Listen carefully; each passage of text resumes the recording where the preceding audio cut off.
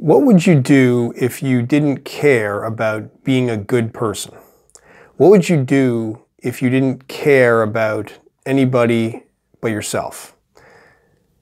Now, this kind of thought immediately I think of well that's what that's something bad people would do and you know that's that's uh, psychos that think like that that are just purely selfish.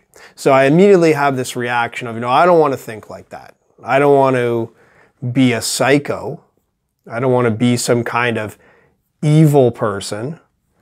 So something kind of stops me from comfortably thinking that way.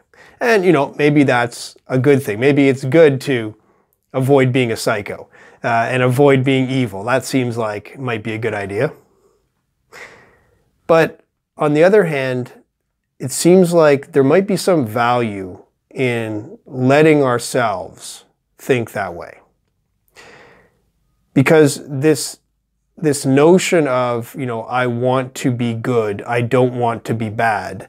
Uh, I, you know, I want to make moral, ethical decisions.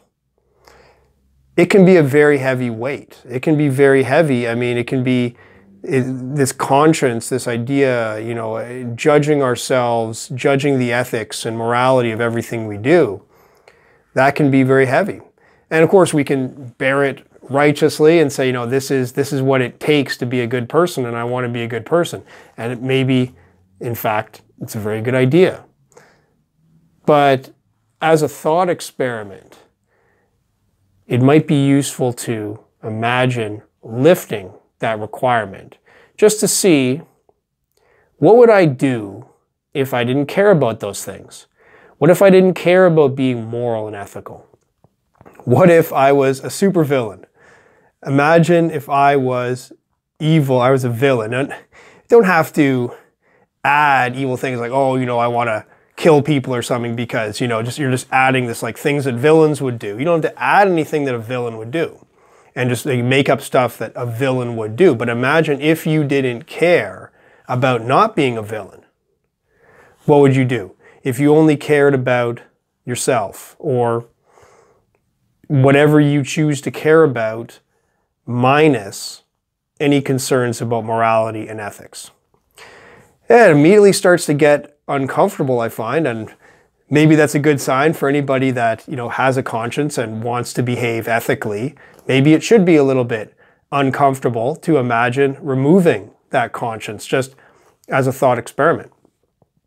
But I think there's value in it because we can uncover certain things that maybe we're, we're kind of pushing down. And I think for many people, this, this is going to be very different for each person. Uh, maybe some people, they're like, what's a conscience?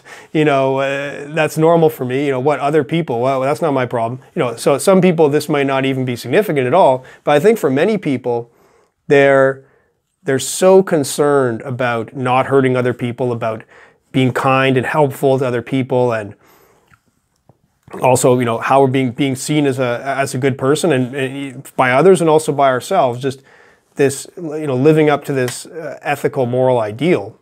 For many people, this is really a heavy weight that pushes down on our desires. So our desires can be seen as, you know, I, I can't be concerned about what I want. Yeah, I might want this and that, but I have responsibilities, I have duties, I have obligations, I have things that I need to do, uh, the people that depend on me, and all those things can, I mean, those are very strong requirements that fill up our way of looking at things.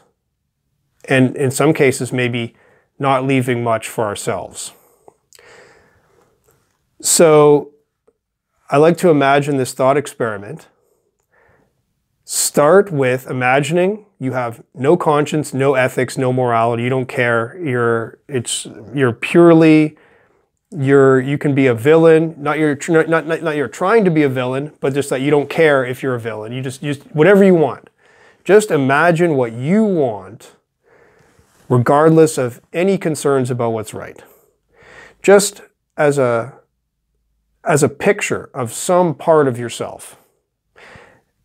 And imagine what you want. And then add the layers of ethics, what is right, uh, the, the needs of other people that you want to support, and all the other concerns that come up. And layer those on. So adjust as necessary. So, you know, you start, you can say, you know, uh, I want to be uh, an international pirate uh, and, you know, and uh, some kind of mastermind criminal or whatever. Uh, and then, you know, you could say, well, you know, probably that's not a good idea uh, for this and that reason. Um, and so you, start, you start to, you know, I actually don't want to hurt anybody. You know, I don't want to, uh, you know, cause all these, all, this chaos. And, uh, you know, I don't, I don't want to have all the, uh, my, my, own legal issues. And besides, it's not even, I mean, for most people that are ethical, it's just, it's not fun to actually hurt people. It doesn't feel good to hurt other people. So we, we put all these, all these uh, requirements and all these adjustments on our behavior. And then maybe what we come up with is back to where we started to the way we are anyway. But maybe there are some adjustments that we can make to live closer to this kind of unhinged, wild uh, desire that we have. Maybe there's some adjustments we can make to be closer to that while still being within the bounds of what we consider to be right. So by by starting with that blank slate morality and just like and, and, and leaving it out, subtracting it and then adding it back in, we can maybe see how it fits in. So I'd love to hear your feedback on this. Is this a terrible idea? This is possibly my worst idea ever. Uh, it may lead to some bad things, uh, but you know, it's a thought experiment. So I'd love to hear how it goes and what you think of it.